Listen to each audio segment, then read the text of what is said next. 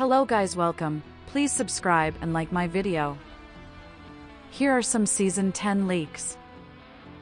CODM officially showcased all draws legendary guns, that includes Pyramid's Tomb draw where there are two legendaries one is Outlaw Treasure Sands and other is FFAR1 Pharaoh Words. Second draw is Venetian Gown draw that includes Arctic 50 Venetian Scope and Nyx the Venetian.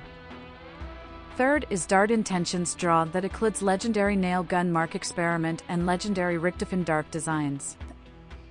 Mythic Switchblade is now Florence Night Terror. Puppet Master draw include MK9 and Synaptic Archon Rex.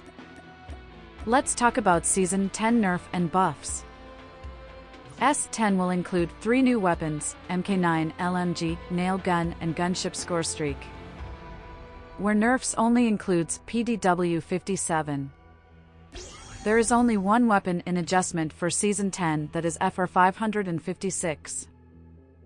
S10 buffs list includes DRH, Oden, ASMQ-10, M4LMG, CX-9, PPSH-41, Striker-45, MSMC, Rus-79U, BK 57. MP buff also includes Counter UAV, Cluster Grenade, Equalizer, EMP Grenade. MP Nerf includes care package and adjustment to the Tempest, BR Nerf includes Shockwave.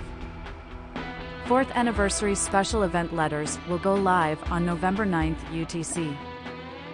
Shoot the anniversary robots in Battle Royale to get an anniversary letter. 5 special letters hold mysterious rewards inside. There is an event roll call where you can claim one gold coupon every day for 9 days for free. If you find this video helpful then please drop a like. There will be one draw with probably 50% discount on Legendary KN44 draw, whereas there are rerun draw like Legendary Manta Ray and Mythic M13 draw.